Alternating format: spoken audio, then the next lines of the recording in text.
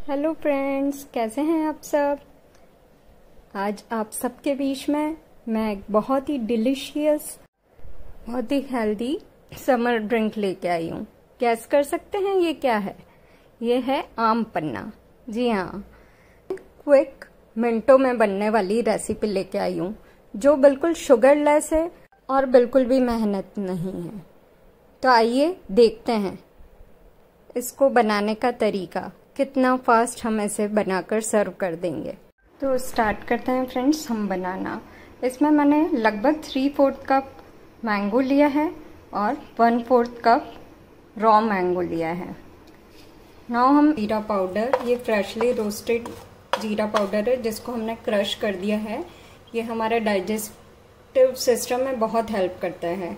फिर ऐड करेंगे थोड़ा सा ब्लैक सॉल्ट ये हम नॉर्मल सॉल्ट की बजाय ये लें तो ये हमारे लिए बहुत अच्छा रहेगा बेनिफिशियल रहेगा और इससे स्मेल भी इन्हेंस होगी। रोस्टेड जीरा के साथ आपको डाइजेशन प्रॉब्लम है, वो भी आपकी सॉर्ट आउट होगी।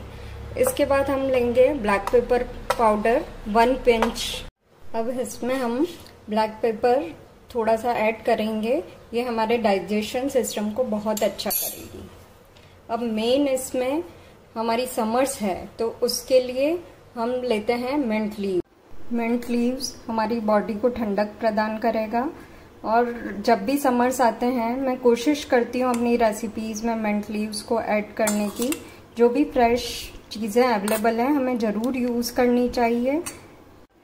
आपको अगर गैस्ट्रिक इशू रहते हैं, या कोई भी प्रॉब्लम डाइजेशन की प्रॉब्लम होती है तो मिंट लीव से आपकी प्रॉब्लम सॉर्ट आउट हो जाएगी।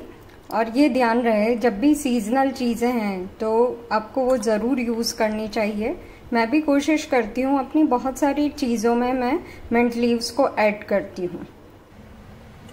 अब हम इन सबको अच्छे से मिक्स करके मिक्सर में डाल देंगे।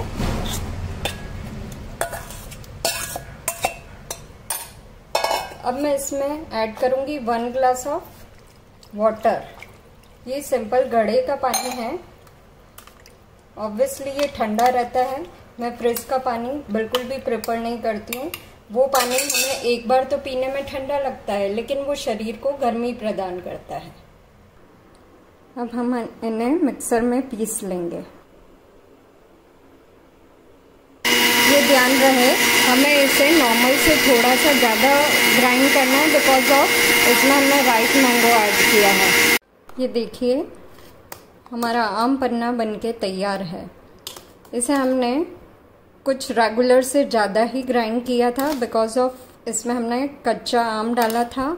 स्मूथ पेस्ट बन के तैयार है। आइए हम इसे टेस्ट कर लेते हैं कि कुछ और नीट तो नहीं है। वाओ इट्स परफेक्ट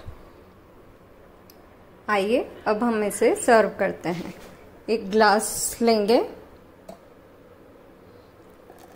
उसमें इसे पोर कर देंगे। इसमें साइड में मेंट लीव रखेंगे। अब मैंगो स्लाइस से हम इसको डेकोरेट करेंगे।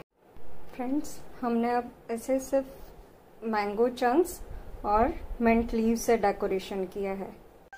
जितना सिंपली हम डेकोरेट करेंगे, उतना ब्यूटीफुल लगेगा। फ्रेंड्स कैसी लगी आपको मेरी क्विक रेसिपी ट्राई कीजिए और अपना फीडबैक दें।